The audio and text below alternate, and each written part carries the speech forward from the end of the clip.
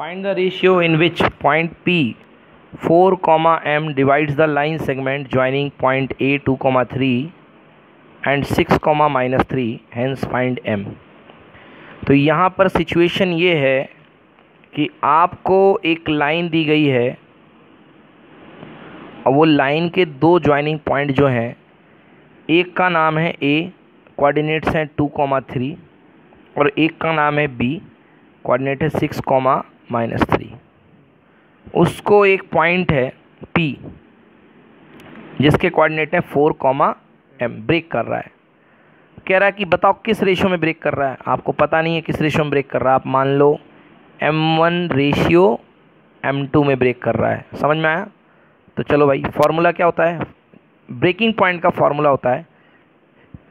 X coordinate equal to x coordinate equal to M one x two plus M two x one upon M one plus M two पता है ये आपको नहीं पता? M one x two plus M two x one upon M one plus M two ये x one x one x two क्या होते हैं? ये जो कोऑर्डिनेट है, इसको बोलोगे x one comma y one पहला वाला। और ये जो कोऑर्डिनेट है सेकेंड वाला, इसको बोलोगे x two comma y two तो ये होता है एक्स कोऑर्डिनेट और जो y कोऑर्डिनेट निकलता है, वो होता है M one y two plus M two y one upon M one plus M two ये होता है y कोऑर्डिनेट समझ में आ रहा है बात? नहीं आया? सिंपल है ना? भाई, आपको जब ये समझ में आ गया तो ये तो समझ में आना ही चाहिए। ये भी नहीं आया। ये भी नहीं आया।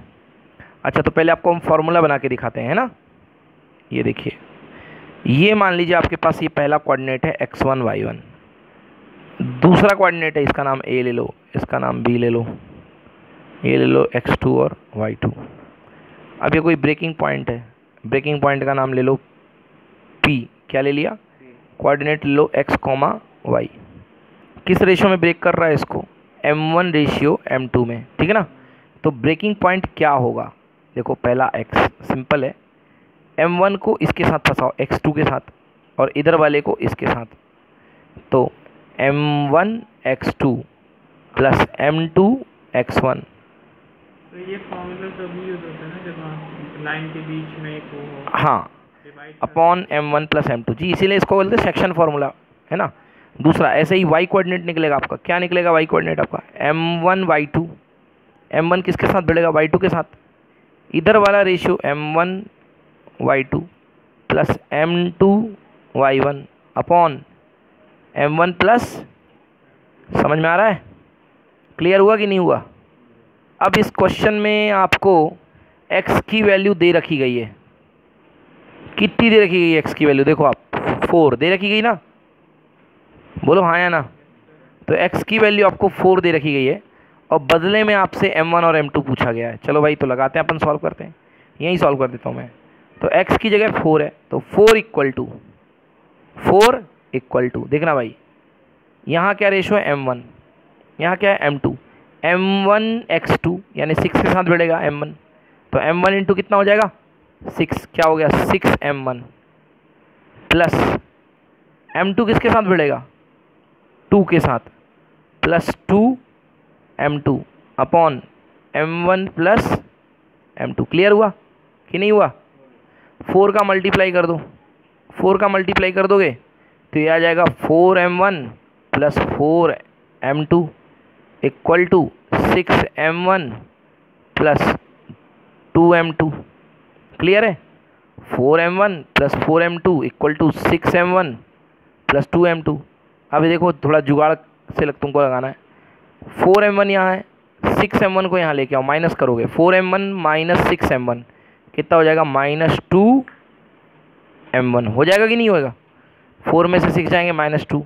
ये टू एम टू है, टू एम टू है, फोर एम टू उधर जाएगा।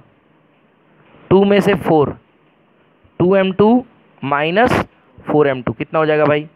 ये हो जाएगा minus two M two. Clear है कि नहीं है? माइनस से माइनस क्या हो गए?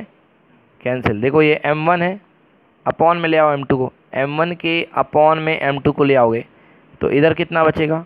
टू। ये टू नीचे चला जाएगा। ये भी टू। टू से two cancel answer M one upon M two equal to कितना आया? वन रेशो वन मतलब वन रेशो वन समझ में आया? मतलब ये मिड पॉइंट होगा। बराबर रेशो में क्या टूटते हैं? मिड पॉइंट तो अपन को एम की वैल्यू निकालनी है। एम कौन सा कोऑर्डिनेट है? वाई कोऑर्डिनेट है। एम कौन सा कोऑर्डिनेट है? तो मिड पॉइंट के लिए क्या होता है? तीन ये बैठा हुआ है। माइनस तीन ये बैठा हुआ है। तो मिड पॉइंट का फॉर्मूला क्या होता है? मिड पॉइंट का फॉर्मूला होता है दोनों कोऑर्डिनेट का सम डिवाइडेड बाई टू तो तीन प्लस माइनस तीन डिवाइड बाई टू तो तीन और माइनस तीन कितना हो गया? Zero. Zero by two, answer कितना आ गया? ज़ीरो। तो मतलब एम की वैल्यू कितनी होगी? ज़ीरो। क्लियर हुआ कि नहीं हुआ? इसको चार पाँच बार करिए तो आपको थोड़ा और अच्छे से समझ में आएगा। क्लियर है ना?